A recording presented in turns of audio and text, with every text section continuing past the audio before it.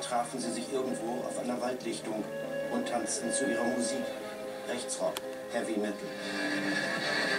Es war die Musik, die sie zusammenhielt, anfangs.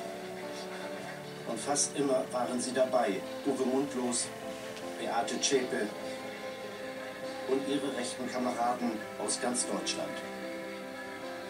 Eine verschworene Gemeinschaft, geeint in ihrer Gesinnung. Neonazis, Ausländerfeinde, hasserfüllte Rassisten.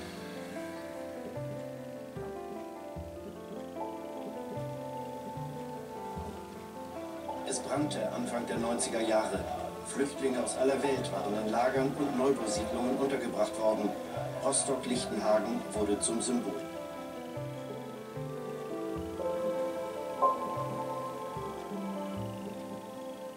Manche gaben sich mit niedergebrannten Häusern nicht zufrieden. Wir waren halt jetzt erstmal demonstrieren, wie wir anhand von irgendwelchen Hilfsmitteln, irgendwelche Objekte, die jetzt von irgendwelchen Linksextremen besetzt werden irgendwelchen Asylanten, sprich jetzt Asylantenheim, also um die jetzt dadurch jetzt stürmen tun und so. Der Vermummte von damals sitzt heute in einem Gefängnis in Thüringen. Anarchie war auf jeden Fall. Komplette Anarchie. Straßenschlachten, dann haben wir die Polizisten angegriffen, dann, dann haben wir Straßenspanne aufgebaut, dann haben wir auch Häuserhürden besetzt, also war die komplette Hürdenanarchie. Und Sven Rosemann immer dabei. 1991 kam er hinter Gitter. Hier in der Haftanstalt Hohenleuden traf er auf Gleichgesinnte. Und da lernte ich auch noch Herrn Uwe Böhnert kennen. Die Zelle ging auf und da kam rein. Ich hatte den Eindruck, dass er eigentlich reif war für das Alter. Zwar vielleicht noch nicht so politisch jetzt und gefestigt. Also er war jetzt zum Beispiel nicht so bewandert mit der deutschen, deutschen Geschichte. Hatte noch ein bisschen Flausen im Kopf, auch die ganze Kleinkriminalität hier, irgendwelche Autos klauen und sowas war da wohl. Aber ansonsten als Mensch an sich war er halt spitze. Uwe Böhnhardt kehrte nach seinem Gefängnisaufenthalt nach Jena Lobeda zurück. Hier wuchs er auf. Bald lernte er aus einem anderen Stadtteil Beate Zschäpe und Uwe Mundlos kennen. Mundlos war schon zu DDR-Zeiten als Neonazi aufgefallen. Mit dem Zusammenbruch der alten Autorität versuchten alte und neue Nazis die Kontrolle über Jena zu gewinnen, mit brutaler Gewalt. Das war die Phase, in der ich das erste Mal überhaupt die rechte Szene in Jena bewusst wahrgenommen habe, weil ich 93 das erste Mal so richtig zusammengeschlagen wurde. Nach einem Fußballspiel vom FCK Jena auf dem Heimweg von drei Nazis, eine Frau, beste Freundin von Beate Zschäpe und zwei Männer mit Festhalten, Tritt in die Magengrube, Tritt mit Stiefeln, mit Stahlkappen dran ins Gesicht. Das war eine, eine Kampfzeit in einem gewissen Sinne. Das Stadtzentrum, das wurde ab 22, 22, 30 auch gefährlich, weil Nazis in Autos mit Baseballschlägern auf den Straßen warteten und geschaut haben. Wir kannten die Autokennzeichen auswendig, zum Teil wie so ein Herbeten. Hast du mitbekommen, dass Wohleben ein neues Auto hat und letztens mit dem Auto von Mundlos unterwegs war? Weißt du, was der für ein Auto fährt? Wir wollten halt die Linken komplett hier handlungsunfähig machen. Komplett hier zurückdrängen, zerschlagen, auflösen. Mit roher Gewalt. Straßenschlachten, Seilschlachten, Ausspähen der Gegner, Abfangen, Stürmen von irgendwelchen Konzerten. Das komplette Programm. Bis aufs Blut, dass es da halt keine Toten groß gegeben hat, das tut mich eh noch wundern. Es sind doch Leute zu Tode gekommen. Es sind doch Menschen ermordet worden von Nazis. In Magdeburg, in Zerbst. Bei den ganzen Übergriffen auf die Asylunterkünfte damals.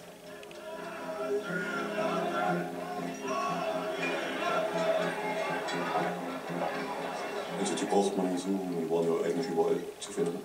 Also die hat es halt nicht so irgendwo erwischt auf der Straße oder sowas. Die Flüchtlinge, die Ausländer, die Migranten, die braucht man nicht extra zum Heim. Es war eine Zeit des Hasses. Auch das Bundesamt für Verfassungsschutz bekam Wind davon, was sich in Thüringen und anderswo zusammenbraute. Man sah das Problem, zu wenig Informationen über Neonazis zu haben. Rechtsradikale Informanten sollten daher die Geheimnisse ihrer eigenen Szene verraten. V-Personen, Vertrauenspersonen sind für uns ausgesprochen wichtig. Denn wie will man ansonsten an den harten Kern einer extremistischen oder gar terroristischen Gruppierung kommen, wenn man nicht Menschen in der Nähe hat, die einem Informationen zuliefern? Und so beschloss man, die Szene zu unterwandern. Also seinerzeit ist man konzertiert vorgegangen und in der Tat ist es gelungen, eine Reihe von Personen anzusprechen, auch anzuwerben. Spitze, V-Leute in der radikalen Szene sind brandgefährlich. Sie gehören dazu, machen mit und verraten gleichzeitig ihre Kameraden. Sie tragen auf beiden Schultern und niemand weiß, wem sie wirklich dienen. Manche, wie Ralf Marschner aus Zwickau, waren an Brandanschlägen auf Flüchtlingsheime beteiligt. Gegen andere wurde wegen Mordversuchs ermittelt. Man wusste über die Gefahr. Wir wollen auch terroristische Strukturen aufklären. Und äh, um die Informationen zu bekommen, ist es manchmal auch notwendig, dass man bestimmte Risiken bei der Quellenführung eingeht.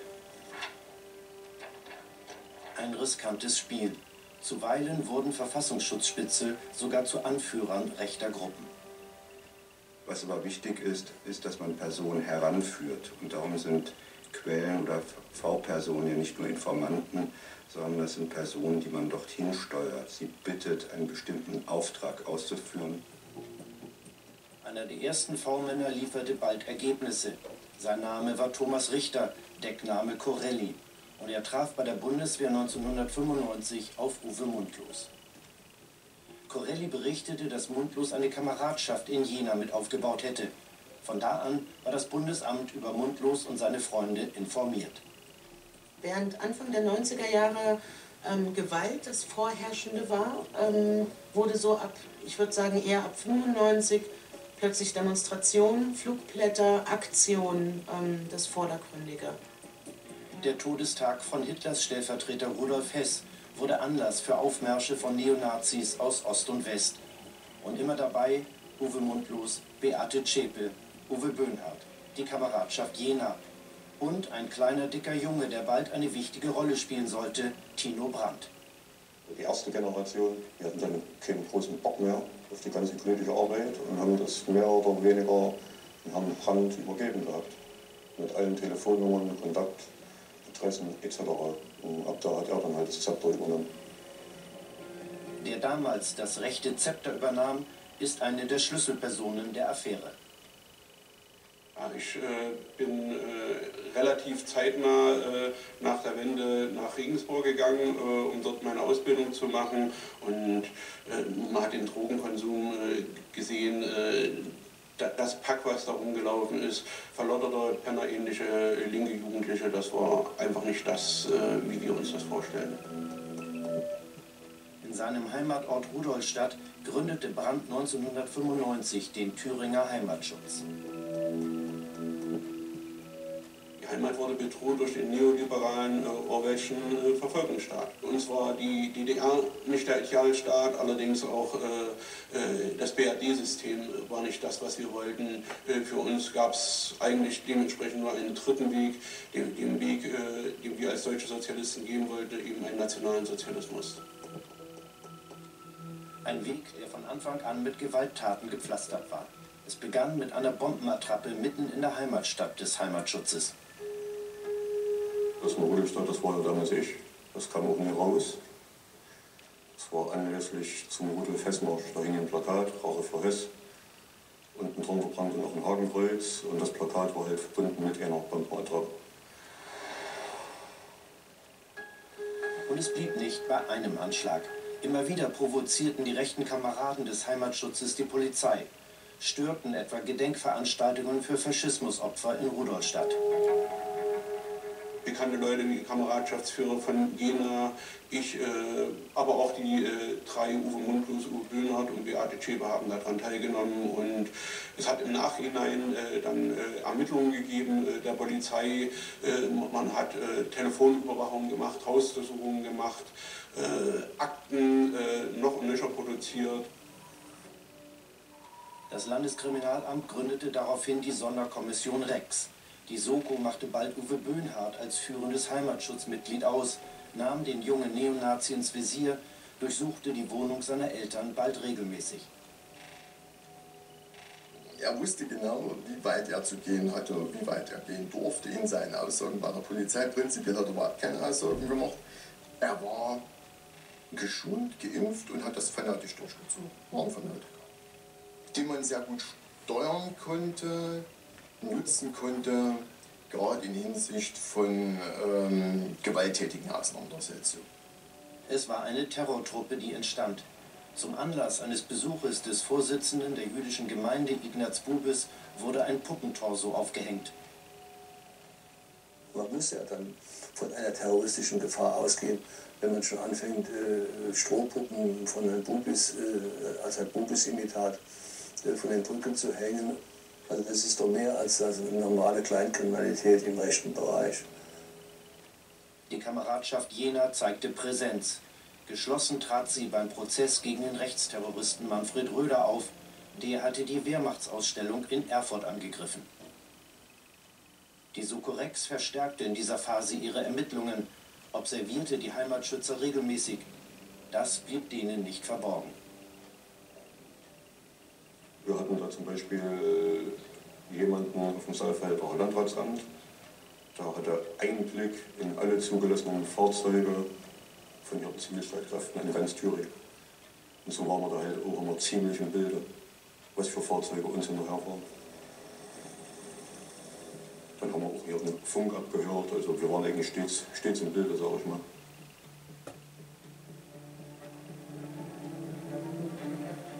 Polizei war schnell gut informiert, denn auch sie hatte Spitzel in der rechten Szene. Wir hatten zu dem Zeitpunkt, als ich diese Hinweise bekommen habe aus der Szene, allumfassenden Überblick über die gesamte Thüringer rechten Szene, also sprich über den Heimatschutz, über die Strukturierung. Bei der Polizei erahnte man, dass hier keine rechten Spielkinder am Werk waren, sondern zu allem entschlossene Untergrundkämpfer man vom Tag X faselt, wenn man die Macht übernehmen will. Das ist ja jedem Fall verkündet worden. Man hat darauf hingearbeitet, irgendwann mal ganz groß zuzuschlagen. Uwe Böhnhardt schien im Oktober 1996 gebändigt zu sein. Wegen illegalen Waffenbesitzes wurde er zu drei Jahren Haft verurteilt.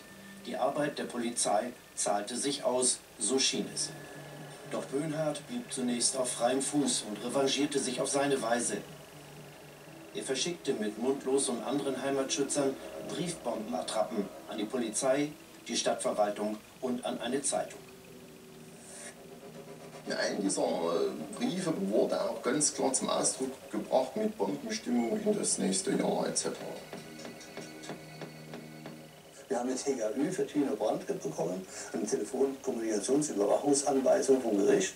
Und wir haben uns dann gewundert, dass da nichts zu sehen war und nichts zu hören war denn die Polizei hatte noch einen Schattengegner, mit dem sie sich herumschlagen musste.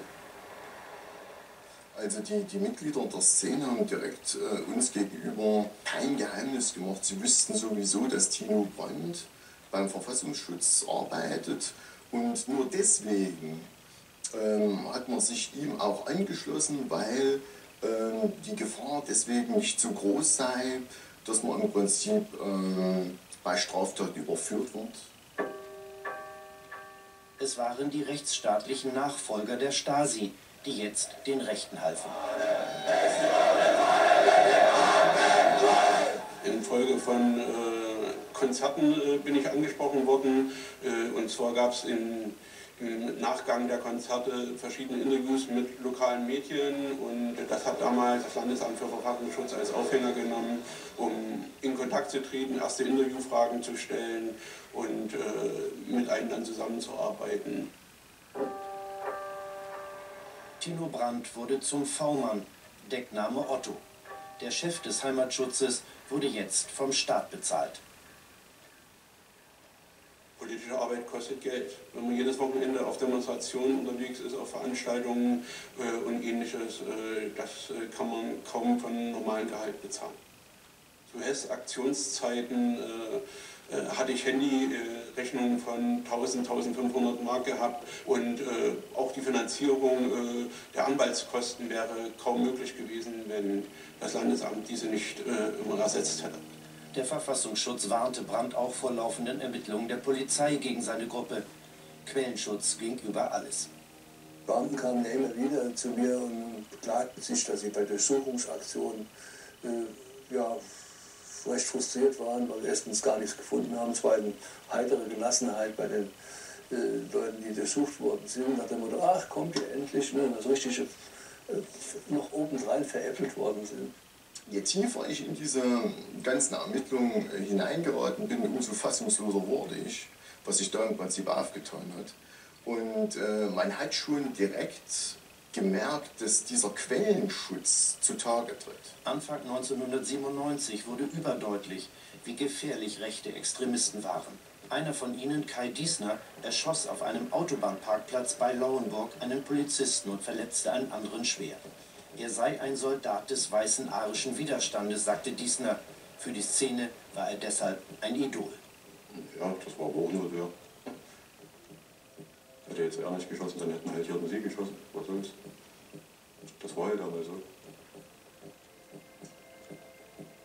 Die Soko Rex des Thüringer Landeskriminalamtes beobachtete in dieser Zeit, wie der Heimatschutz den Widerstand im Untergrund konkret plante. Bei Hausdurchsuchungen wurden sogar detaillierte Sabotageanleitungen gefunden. Ja, alles, was jetzt solche Sachen anging, haben wir uns ausgetauscht. Jeder hat halt gezeigt, was er sich neu gekauft hat. Der eine Hirten das Gewehr, der nächste Hirten die Pistole, dann hat man halt Hirten gefachsimmelt, wie man das umbauen kann. Er hat was abgeguckt von mir, ich habe was abgeguckt von ihm. Uwe Böhnhardt setzte dieses Wissen um, bastelte in seinem Kinderzimmer Bomben. Im Herbst 1997 durchsuchte die Polizei das Hauptquartier des Heimatschutzes in Heilsberg. Die Nazis schienen sich auf einen Untergrundkampf vorzubereiten. Das Thema wurde angesprochen, ob man nicht langsam mal dazu übergehen könnte, irgendwie einen bewaffneten Arm ähnlich der RAF zu bilden. Wenigstens mal ein Ding hochjagen, so ein Gedenkstein oder sowas.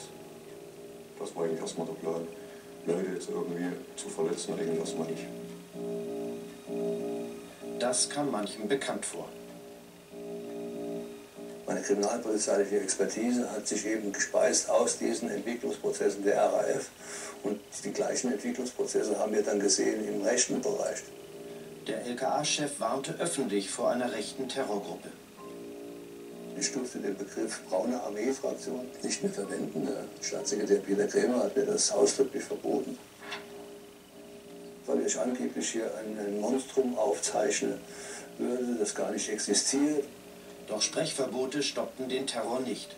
Der Heimatschutz machte ernst. Uwe Böhnhardt und Komplizen stellten einen Koffer vor dem Theater in Jena ab. Darin eine Bombe gefüllt mit einigen Gramm TNT. Wie sich herausgestellt hat, diese sogenannte Theaterbombe war eine voll funktionstüchtige Bombe. Es hat nur die Energiequelle gefehlt von den Zündern. Kurz darauf wurde Böhnhardt in zweiter Instanz zu einer zweijährigen Haftstrafe verurteilt. Zum Verhängnis wurde ihm ein Telefonat mit Beate Zschäpe. Die beiden hatten verabredet, Nazi-Rock-CDs zu verkaufen. Doch in Haft kam Böhnhardt wieder nicht.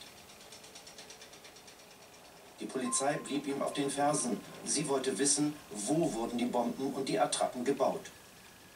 Unser mobiles Einsatzkommando damals äh, war beauftragt worden, damit die Kameradschaft Jena zu observieren. Die wurden aber nach kurzer Zeit abgezogen. Und man hat die Observationsgruppe des Verfassungsschutzes eingesetzt. Der Verfassungsschutz wusste derweil genau, wo Böhnhardt und Mundlos waren. Die offizielle Version ist, dass ähm, ein Mitarbeiter des Verfassungsschutzes die observiert hätte.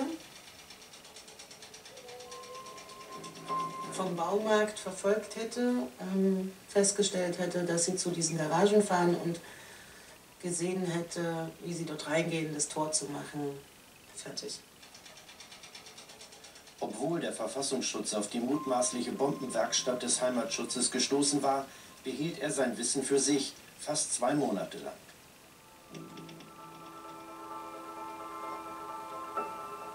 Böhnhardt blieb auf freiem Fuß und konnte Ende Januar mit der Kameradschaft Jena in Dresden gegen die Wehrmachtsausstellung demonstrieren.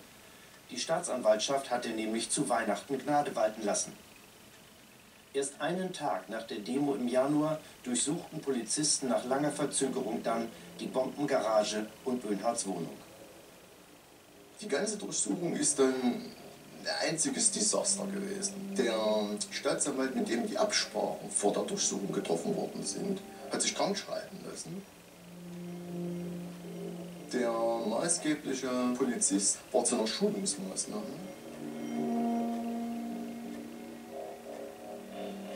Die Polizei brach mit Verspätung die Garage an der Saale auf und fand TNT sowie fertige und halbfertige Rohrbomben. Böhnhardt wartete unterdessen bei seiner Wohnung, umstellt von Polizei. Dass diese Bombenbastlerwerkstatt auch gefunden worden ist, hat nicht dazu geführt, dass man irgendjemand vorläufig festgenommen hat. Es wurden die Autos nicht durchsucht. Böhnhardt konnte mit einem dieser Autos einfach davonfahren. Uwe Mundlos und Beate Zschäpe schlossen sich Böhnhardt an und tauchten gemeinsam mit ihm ab. In den nächsten Wochen und Monaten sollten dem Trio über ein Dutzend Kameraden des Heimatschutzes helfen. Mit Geld, Autos, Botengängen. Für uns haben sie zur Kameradschaft gehört, sie haben zu uns gehört und natürlich haben wir sie dann unterstützt, wenn sie Probleme hatten. Die drei Heimatschützer fuhren eine Stunde weit nach Osten, nach Chemnitz in Sachsen. Hier hatten die drei viele Freunde, darunter Thomas Starke, einen der Anführer der Neonazi-Bewegung Blood and Honor in Sachsen. Eigentlicher Kopf der Organisation war aber Jan Werner. And Honor war geprägt von Einflüssen aus England und den USA und wollte den Staat massiv angreifen. Memphis, Tennessee. Hier lebt Achim Schmidt, ein Aussteiger aus der rechten Szene. Er bewegte sich über Jahre unter militanten Neonazis. Ich war auf dem Wege, einer der absolut führenden Köpfe da auch zu werden. Ich wurde Ehrenmitglied von Plattenhalle Dänemark. In der rechten Szene, in dieser Bewegung zu sein, ist purer Stress. Man war immer einer Gefahr ausgesetzt. Gehen Sie in eine Großstadt, war man Stress ausgesetzt. Man war Stress ausgesetzt auf politischer Ebene. Überall sind Ausländer, die wollen alles wegnehmen. Und die Politiker, das sind alle jüdisch kontrolliert und das ist alles so schlimm.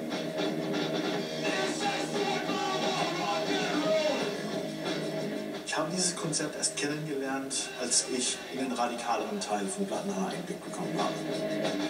Es ist ja wahnsinnig viel Propagandamaterial aus den USA nach Deutschland geschickt worden. Und das hat natürlich angefangen, Leute zu sensibilisieren für dieses White Aaron Resistance Thema.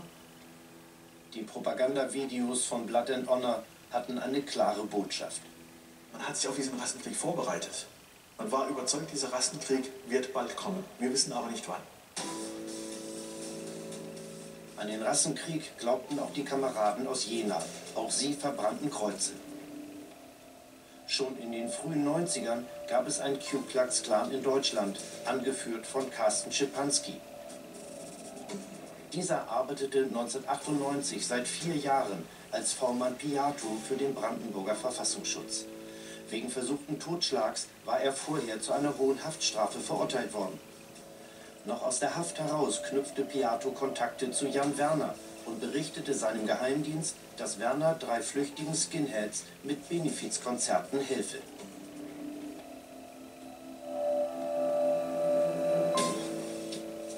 Piato traf sich mit seinem V-Mann-Führer in Wäldern und berichtete auch, dass Werner für das Trio Waffen suchte für weitere Überfälle. Die Ermittler konnten sogar mitlesen, wie Werner den V-Mann direkt nach Waffen fragte. Die Polizei wurde zwar informiert, der Verfassungsschutz untersagte jedoch dem LKA Thüringen, gegen Piato direkt zu ermitteln. Quellenschutz war offenbar wichtiger, als das Trio zu finden. Da stellte der Thüringer Verfassungsschutz lieber Geld für falsche Papiere zur Verfügung. Zwischendurch äh, war die Frage, äh, dass Pässe, neue Pässe besorgt werden, äh, die natürlich Geld äh, kosten. Und äh, zu dem Zeitpunkt äh, war das Geldaufkommen durch Spenden relativ gering. Und da hat das Landesamt eben dann mit Geldbeträgen ausgeholfen, die ich dann weitergeleitet habe. Der Verfassungsschutz in Thüringen wusste, das Trio wollte Waffen, um damit weitere Überfälle zu begehen. Angeblich hatte man keine Ahnung, wer hinter einem spektakulären Überfall in Chemnitz steckte. Zwei junge Männer hatten kurz vor Ladenschluss den Edeka-Markt überfallen. Ein Mann rannte hinter ihnen her, die Täter schossen auf ihren Verfolger. Die Waffe ist auf ihn im Kopf bzw. Brusthöhe abgeschossen worden. Hier sieht man noch die Einschüsse, einmal hier und einmal dort drüben. Der Mann wurde nicht verletzt. Kurz nach dem Überfall wurde eine hohe Bargeldsumme auf das Konto der damaligen Lebensgefährtin ihres Helfers Jan Werner überwiesen. Blood and Honor war damals nämlich chronisch klamm. Wir wollten Werner interviewen zu dem Überfall und seiner Suche nach Waffen für das Trio, doch er will nicht sprechen. Auch seine Kontakte zu Schlüsselmitgliedern des weißen arischen Widerstandes im Ausland machen ihn interessant. Werner hatte auch gute Kontakte zu militanten Neonazis in England genau wie sein Freund der V-Mann Piatto. Der war auf dem bewaffneten Arm von Blood and Honor angesetzt, Combat 18, angeführt von Wilf Browning. In dieser Szene radikalisierte sich ein junger Brite, David Copeland. Der zündete im April 1999 drei Nagelbomben in London, tötete damit drei Menschen und verletzte Hunderte. In seinem Zimmer hatte er wie einst Uwe Böhnhardt Schwarzpulver aus Silvesterraketen gekratzt, um die Bomben zu basteln. Es muss jeder für sich selber entscheiden. Das war eigentlich schon immer damals die Devise gewesen. Wer also denkt, die Zeit ist reif, er ist schon reif dafür, der soll es halt machen. Soll es aber niemandem erzählen. Zwei Monate nach Koblenz letztem Anschlag machten Uwe Böhnhardt und Uwe Mundlos ernst. In Nürnberg, unweit des Bahnhofs, legten sie in einer kleinen Kneipe, die von einem Türken geführt wurde, eine Bombe ab. Ein junger Türke fand die Sprengfalle, die zündete mit Verzögerung und verletzte ihn so nur leicht. In dieser Zeit besorgte sich das Trio über einen alten Heimatschutzkontakt eine Waffe mit Schalldämpfer. Es war eine Cesca 83, Kaliber 765. 1999 wurde auch Blood and Honor immer radikaler. In Skandinavien hat man gesagt, wir bewegen andere dazu, dass sie das tun. Sie waren eigentlich der Anstifter. Ich hatte ein Konzert gespielt in Schweden und da haben wir uns natürlich über Konzepte unterhalten, über Plattenhammer. Das war gerade die Zeit, als es in Deutschland verboten wurde. Und zum anderen wurde ich damit aufgetragen, eine der Broschüren zu übersetzen. Der Text war wie die Bibel der militanten Szene. Es ist schon ein Unterschied, ob Sie sowas nur lesen oder ob Sie es übersetzen. Und wenn Sie es nochmal übersetzen, dann überfliegen Sie das nicht nur.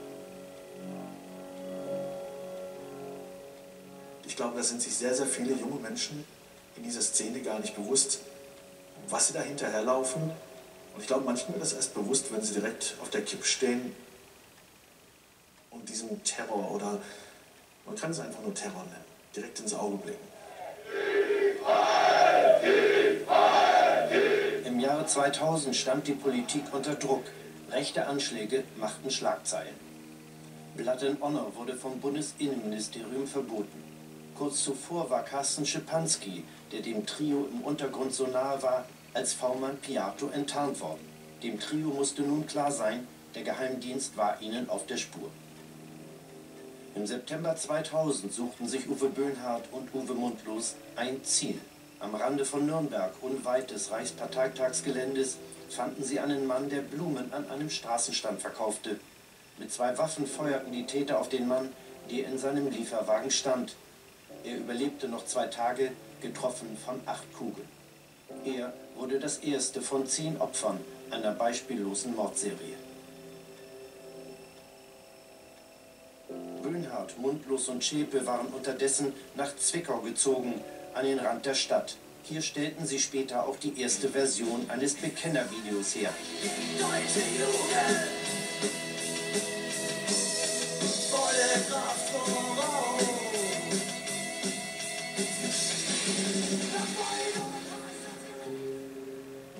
Die Wohnung in Zwickau hatte das Trio unter dem Namen eines sächsischen Neonazis angemietet.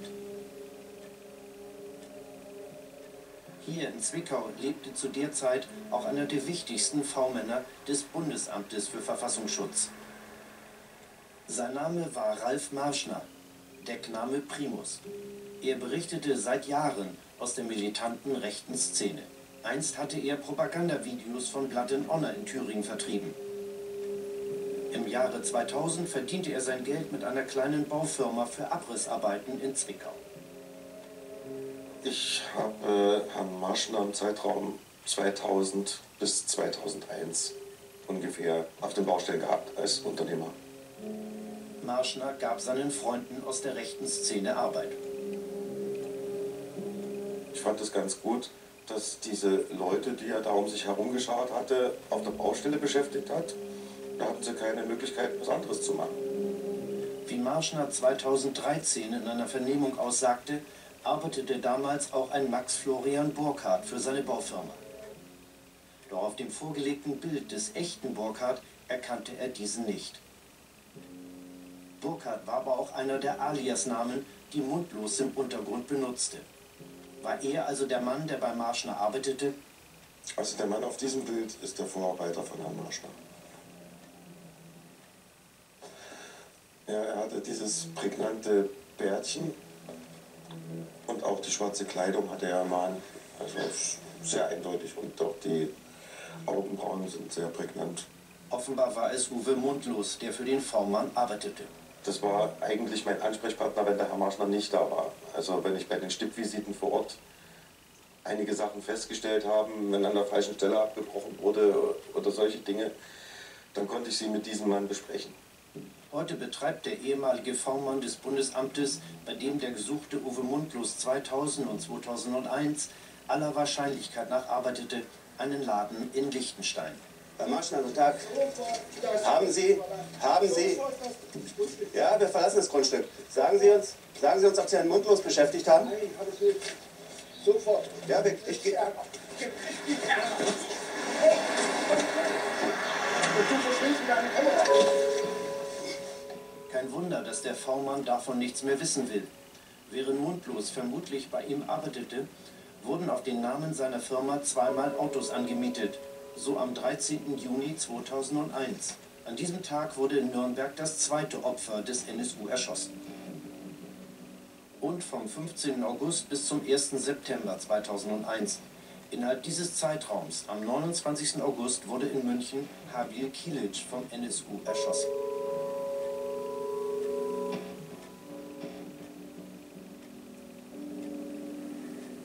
Er habe den Wagen für Fahrten zu Baustellen gebraucht, behauptet der V-Mann. Als Fahrer allerdings war ein enger Freund und Angestellter Marschners eingetragen, Jens G. aus Zwickau. Der wohnt noch immer in der Polenzstraße. Schräg gegenüber von ihm lebte sieben Jahre lang das Trio in einem Eckhaus. Marschner wird 2002, wie andere Spitzel auch, vom Bundesamt für Verfassungsschutz als V-Mann abgestellt. Er hatte das Amt immer wieder angelogen. Der NSU tritt derweil an die Öffentlichkeit. Er verschickt Geldspenden an Nazi-Zeitschriften zusammen mit einem Brief, in dem es heißt Sieg oder Tod. Die Zeitschriften werden heute unter anderem in einem Antifa-Archiv in Berlin archiviert. Jeder konnte sie auch damals sehen. Ein Nazi-Blatt bedankt sich beim NSU. Diesen Text nimmt auch der Verfassungsschutz wahr. Auf den Gedanken, dass das gesuchte Trio dahinter steckt, kommt angeblich niemand. Und so geht die Serie weiter. In Sachsen verübten Räuber zwei Sparkassenüberfälle im Abstand von wenigen Tagen. Böhnhardt und Mundlos begingen im Jahr 2004 ihre Verbrechen praktisch vor den Augen der Öffentlichkeit. Im Fernsehen wurde nach Bankräubern gefahndet, die einen Bezug nach Zwickau hatten und mit Fahrrädern flohen. Es war immer dieselbe Vorgehensweise und keine Polizei und kein Verfassungsschutz stellte einen Zusammenhang her. So auch im Juni 2004, als Uwe Mundlos in der Kölner Kolbstraße ein Fahrrad abstellte, auf dem Gepäckträger eine Nagelbombe. Uwe Böhnhardt löste den Sprengsatz vermutlich per Fernzündung aus. Die Polizei vermutete die Täter abermals im kriminellen Bereich, doch Doch das Bundesamt für Verfassungsschutz hatte diesmal den richtigen Riecher und verwies auf Parallelen zu den Nagelbomben von London. In Neonazi-Zeitschriften war genau beschrieben worden, wie diese Bomben zu bauen waren. Nur die Zünder unterschieden sich. In welchem Bereich die Täter zu suchen waren, schien zumindest dem Bundesamt für Verfassungsschutz inzwischen klar zu sein. Genau ein Jahr später. Wieder war es der 9. Juni wie in Köln. Der NSU suchte sich das Opfer für einen sechsten Mord. Ismail Yashar arbeitete in seinem Dönerstand auf dem Parkplatz eines Supermarktes. Diesmal hatten mehrere Zeugen die Täter gesehen. Sie kamen auf Fahrrädern und sie waren zu zweit. Eine besondere Aufbauorganisation, die BAO Bosporus, übernahm nun den Fall. Zusätzlich wurde ein Profiler hinzugezogen. Ein Punkt, der uns aber von Anfang an gestört hat an der Sache, war das Beibehalten der Waffe. Die immer weitere Verwendung ein und derselben Waffe, die uns ja als äh, Polizei erst auf diesen Zusammenhang bringt und das verbindende Glied sozusagen darstellt in dieser Serie. Und das ist eine Verhaltensweise, die wir für schwer zu erklären fanden. Gerade wenn es im Kontext von organisierter Kriminalität wäre, deren eigentliches Interesse ja ist, im Verdeckten zu arbeiten. Nur Tage später, am 15. Juni, kam die Waffe wieder zum Einsatz. Der Grieche Theodoros Bulgaridis wurde in seinem Schlüsseldienstladen in München erschossen. Und, Zufall oder nicht, am selben Tag schaltete nach längerer Diskussion das Bundesamt den V-Mann Corelli, Thomas Richter, wieder an. Er war zeitweilig wegen Unzuverlässigkeit als Spitzel aus dem Spiel genommen worden. Nun wurden seine Kontakte zur rechten Szene offenbar wieder gebraucht. Bei Corelli war man der Auffassung gewesen, die Informationen, die diese Quelle liefert aus dem Bereich des Rechtsextremismus, sind so wertig, dass man auch bei bestehenden Risiken diese Quelle weiterführt. Wenige Monate nach dem Mord hat Richter nach offizieller Version dem BFV eine CD übergeben. Auf dem Cover Hitlers Hände und eine Waffe, dazu der Titel NSU, NSDAP. Einen Zusammenhang zu der Mordserie erkannte angeblich niemand aus unserer Sicht ein Rätsel, warum NSDAP, NSU als eine der Teilbezeichnung verwendet worden ist. Aber dies lässt aus unserer Sicht nicht den Schluss zu, dass Corelli den NSU als NSU kannte und dass er vielleicht äh, auch Kenntnis haben könnte von Straftaten dieses NSU. Nach der jahrelangen vergeblichen Fahndung wandte sich nun das Bundeskriminalamt hilfesuchend an die Nachrichtendienste. So im März 2006 an den Verfassungsschutz Hessen. Und der reichte ein Informationsblatt des BKA zur Cesca-Serie an seine V-Mann-Führer weiter, verbunden mit dem Auftrag, deren Spitzel sollten sich umhören, was man darüber in der Szene so redet. Kaum zwei Wochen später wurde mit dieser Cesca ein Mann in Dortmund erschossen. Und nur zwei Tage später kam die Cesca in einem Internetcafé in Kassel zum Einsatz.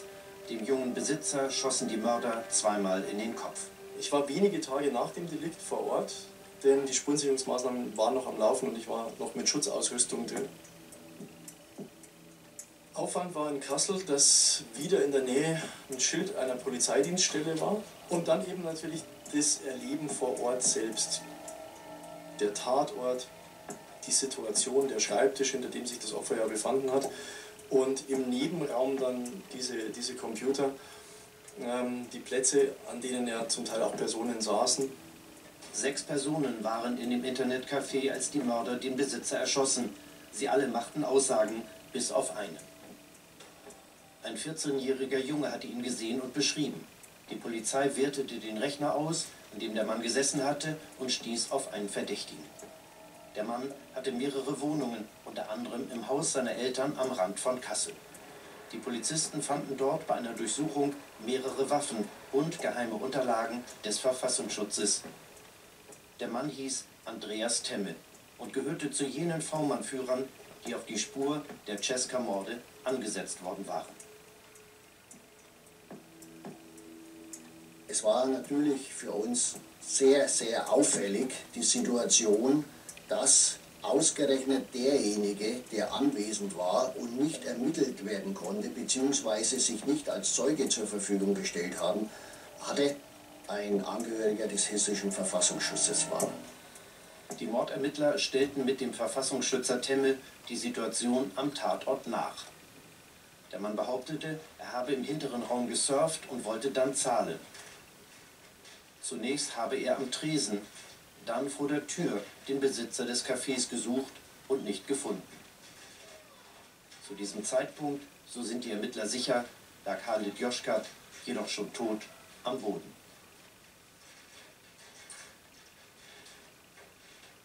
Natürlich äh, war es, ja, war es äh, schon mal, befremdlich, dass jemand, der dort an den Tresen tritt, Geld drauflegt, obwohl auf dem Tresen Blutstropfen waren. Und den am Boden liegenden Erschossenen nicht ähm, sag ich mal, gesehen haben will. Und nicht nur das. Obwohl in allen Medien über den Mord im Internetcafé berichtet wurde, meldete Temme nicht der Polizei, dass er am Tatort gewesen war. Und angeblich verschwieg er das auch dem Verfassungsschutz. Nur leider ist es immer wieder in meiner beruflichen Laufbahn vorgekommen, dass ich Aussagen entgegennehmen musste, die ich nicht geglaubt habe. Äh, die von Temme gehörte, sage ich jetzt mal dazu, die war für mich schwer nachvollziehbar. Es war die Frage, die diskutiert worden ist, wäre ein Haftbefehl nicht angebracht gewesen in der Situation, aber infolgedessen stellte man fest, dass die hessischen Verfassungsschutzbehörden inklusive äh, des Innenministeriums äh, eigentlich den Zugriff auf weitere Ermittlungen, ich will mal sagen, vorsichtig blockierten. Der hessische Verfassungsschutz mauert immer noch. Der Vorgang im Internetcafé ist bis heute ungeklärt. Dabei hatte Temme einen V-Mann genau in jener rechten Szene, aus der die Mörder stammten. Auch im hessischen Untersuchungsausschuss blieb ungeklärt, warum sein V-Mann Benjamin Gärtner, Deckname Gemüse, kurz vor der Tat mit Temme telefoniert hatte. Dafür wurden von der Polizei Telefonate mitgeschnitten, bei denen sich die Kollegen und Vorgesetzten Temmes fürsorglich nach dessen Befinden als von der Polizei Verdächtigter erkundigten. Ich hatte gehört, dass Sie, wie heißt das, eine Tatortprüfung gemacht haben. Und da habe ich schon gedacht, wenn Sie ihn dahin mitnehmen, ist er tot. Aber Sie haben dich, Gott sei Dank, da nicht mitgenommen. Ne? Alles klar, das ist schon mal wichtig. Der Sicherheitsbeauftragte des Hessischen Landesamtes für Verfassungsschutz machte ebenfalls eine brisante Bemerkung. Hallo Herr Zemme, grüße Sie. Ich wollte mich mal bei Ihnen melden. Ja, alles klar. Ja, keine einfache Situation für Sie. Nee, das stimmt. Ich sag ja jedem, wenn er weiß, dass irgendwo so etwas passiert, bitte nicht vorbeifahren. Ja, es ist... Ja, wie sieht es bei Ihnen aus? Wie fühlen Sie sich?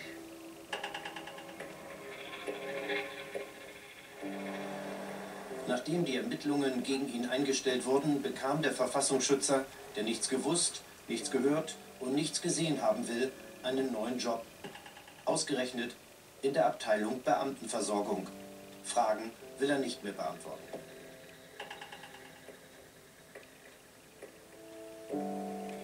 Der Makel letztendlich hier in Kassel nicht auf den Grund der Wahrheit zu kommen, der war da, das ist bei jeder größeren Besprechung immer wieder thematisiert worden, aber uns waren aufgrund der justiziellen Entscheidung, aber vor allem der Entscheidung aus dem äh, hessischen Innenministerium im Endeffekt die Hände gebunden. Die wirkliche Rolle des Verfassungsschützers Temme ist bis heute ungeklärt. Ja, natürlich haben wir Ermittlungen weiter getätigt, die die Gesamtserie betroffen hat. Und da war eben nachzuvollziehen, dass zumindest bei zwei Fällen der Verfassungsschutzbeamte Temme ein eindeutiges, äh, belegbares ähm, Alibi hatte. Und doch war der Mord in Kassel die Wende bei den Ermittlungen der BAO Bosporus. Man nahm Abstand von der Theorie, dass die Täter aus dem Bereich der organisierten Kriminalität stammen könnten. Es reduziert sich im Grunde genommen alles auf die Frage der Opferauswahl. Wenn man der Meinung ist, es hat was mit organisierter Kriminalität zu tun, dann sind die Opfer nicht zufällig oder situativ ausgewählt, sondern gezielt als diese Personen und die Personen müssen weg. Und wenn man auf eine situative Opferauswahl geht, dann sind sie austauschbar bis zu einem gewissen Maße. Und dann ist darunter eine andere Motivlage, eben eine, eine fremdenfeindliche Motivlage. Dann macht auch die, das Beibehalten der Waffe Sinn. Denn dann ist die Waffe sozusagen die Botschaft. Alles deutete nun endlich auf das Naheliegende hin. Die Mörder stammten aus der rechten Szene, so die neue Hypothese der BAO Bosporus. Und diese Frage hat uns natürlich bewegt. Mit wem würde man denn so ein Delikt machen? Und wir kamen zu der Einschätzung, dass da eine sehr enge Verbindung zwischen diesen zwei Menschen sein muss. Das ist entweder Familie, das sind Brüder, oder, ich kann mich sehr gut erinnern in der Ergebnispräsentation, dass wir die Formulierung gewählt haben, es sind Brüder im Geiste. Das Raster der Ermittler war nun, sie suchten zwei Täter männlich vor dem ersten Mord im Jahre 2000 nach dem Motto Taten statt Worte aus der Szene ausgestiegen, Erfahrung mit Sprengstoff und Schusswaffen. Jetzt hatten wir intern eine neue Hypothese entwickelt und wollten natürlich Informationen aus der Bevölkerung letztendlich generieren. Die Ermittler starteten eine Medienkampagne und die wurde auch im mitteldeutschen Fernsehen ausgestrahlt, vor der Tür des Trios. Wir halten es auch für gut möglich, dass es in Deutschland ein oder zwei Menschen gibt, die quer durch die Republik fahren und solche Straftaten begehen. Wir gehen davon aus, dass der Täter die Waffe mit dem Schalldämpfer in einer Plastiktüte verbirgt und erst im letzten Moment die Plastiktüte anhebt und durch die Plastiktüte auf sein wehrloses Opfer feuert. Die Frage an die Zuschauer lautet, haben Sie Beobachtungen gemacht, bei denen jemand mit der Waffe mit Schalldämpfer vielleicht sogar durch eine Plastiktüte Schussversuche unternommen hat? Vier Tage nach der Sendung überfällt Uwe Böhnhardt eine Bank. Allein. Es war aufgrund auch der Menge vorhandener Personen offensichtlich auch den Tätern nicht möglich, sich eindeutig zu konzentrieren. Er machte auch von der Gesamtheit her einen ziemlich fahrischen, aufgeregten und zum Teil etwas abwesenden Eindruck, sodass man auf eine psychische Beeinflussung schließen kann. Die Täter waren offenbar aufgescheucht. Wenn immer Sie eine Medienstrategie machen, müssen Sie auch sich die Frage stellen, was kann denn im schlimmsten Fall passieren? Im schlimmsten Fall kann natürlich passieren, es gibt weitere Fälle. Und man wechselt die Waffen, man wechselt die Opfer. Böhnhardt und Mundlos änderten jedoch zunächst nicht ihre Vorgehensweise, sondern überfielen wie gehabt regelmäßig Banken. Abermals wurden sie dabei gefilmt. Nach dem zweiten Überfall haben wir aufgrund von Zeugenaussagen ein Phantombild eines Täters erstellen können, der von den Zeugen vor und nach der Tat in der Nähe der Sparkasse gesehen wurde. Jetzt gab es sogar ein Phantombild von Uwe Böhnhardt als Bankräuber. Am Tag der Ausstrahlung der Fernsehsendung begann vermutlich Uwe Mundlos in der Polensstraße eine neue Bekenner-DVD des NSU zu schneiden.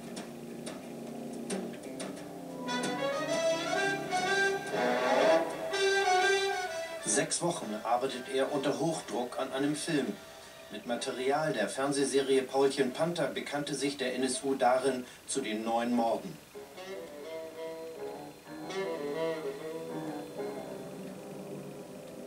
Doch dann muss etwas von ihnen Unerwartetes passiert sein. Böhnhardt und Mundlos mieteten ein Wohnmobil, wie vor den meisten ihrer anderen Morde auch. Das Wohnmobil wurde am 25. April 2007 von der Polizei am Rande von Heilbronn in Oberstenfeld notiert. Wenige Minuten zuvor war die Polizistin Michelle Kiesewetter in Heilbronn erschossen worden. Ihr Kollege lebensgefährlich verletzt, die Dienstwaffen der Beamten hatten die Täter mitgenommen. Der Mord wird am Ende der Bekenner-DVD aufgegriffen. Warum Michel Kiesewetter sterben musste, ist eines der Rätsel des NSU-Komplexes. Die fertigen DVDs blieben in der Wohnung in der Zwickauer Frühlingsstraße, in die das Trio 2008 zog. Ein mit Videokameras gesichertes Depot, in dem wohl vor allem Beate Zschäpe wohnte. Die bekam immer wieder Besuch von Mitgliedern der Neonazi-Szene sowie von Mundlos und Böhnhardt.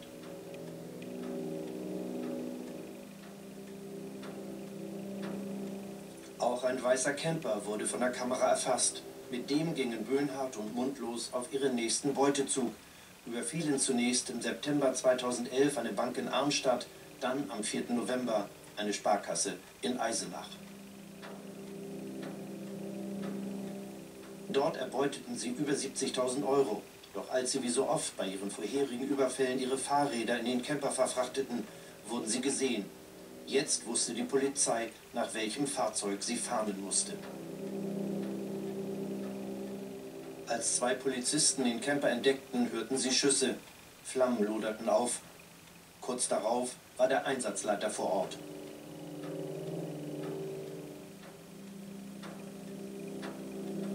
Als ich in Streckda eingetroffen bin, habe ich eine sehr komplexe Lage vorgefunden. Das Fahrzeug war in der Mitte bis im Dachbereich ausgebrannt und im Bereich des Fußbodens und im Hinterbereich des Fahrzeugs lagen zwei Leichen. Die Leichen wurden mit dem Wohnmobil in eine Lagerhalle gebracht und dort untersucht. Wenn man die Bewaffnung gesehen hat, wenn man gesehen hat, dass womöglich der Polizeifunk abgehört worden ist, wenn man das Verhalten äh, der Täter noch mit einbezieht. Also die hätten sich ja nicht unbedingt selbst erschließen müssen, sondern vielleicht gibt es da eine Geschichte, die wir noch nicht kennen. Und das war Ansatzpunkt für die weiteren Ermittlungen. Im Camper lagen die Beweise für zehn Morde, die Bekenner-DVDs und die Waffen der ermordeten Polizistin und ihres Kollegen. In der Nacht identifizierten die Fahnder auch die erste Leiche. Es war Uwe Mundlos. Es war relativ schnell klar, dass äh, Mundlos eine äh, der drei Personen ist, die 98 äh, de facto von der Bildfläche verschwunden sind, zusammen mit ähm, Herrn Böhnert und zusammen mit Frau Schäbe. Den letzten Beweis fanden die Ermittler in den rauchenden Trümmern des Hauses in der Frühlingsstraße, die Cesca, mit der neun Menschen erschossen worden waren. Beate Zschäpe stellte sich nach einer tagelangen Irrfahrt selbst der Polizei. Seit Jahren steht sie vor Gericht, gemeinsam mit ehemaligen Mitgliedern des Thüringer Heimatschutzes. Die meisten der Weggefährten geben sich vor Gericht sehr wortkarg. Egal was gelaufen ist, auch jetzt bei mir im Hinblick auf Verfassungsschutz oder sonstiges, äh, nichts dran, äh, dass wir die Zeit damals äh, positiv in Erinnerung haben, äh, uns nicht schämen für die Sachen, äh, die wir politisch gemacht haben. Und natürlich hat das zusammengeschweißt und äh, da fällt, glaube ich, keiner den anderen im Rücken. Aber wir stellen uns natürlich auch Fragen. Warum sind gerade diese neun Migranten getötet worden? Warum ist Frau Kiesewetter getötet worden? Waren es wirklich nur diese drei gewesen oder waren es andere gewesen, die sie noch unterstützt hatten? Ja, stille Wasser sind Hilfe. Also ich kenne da einige, denen würde ich sowas auch zutrauen. Aber von denen würde ich niemals irgendjemand denken oder irgendwo vermuten. Weil ich denke, wenn die Zeit reif ist, dann gibt es genug. Wie Sie das machen, wie er das machen würde. Könnte man durchaus vorstellen.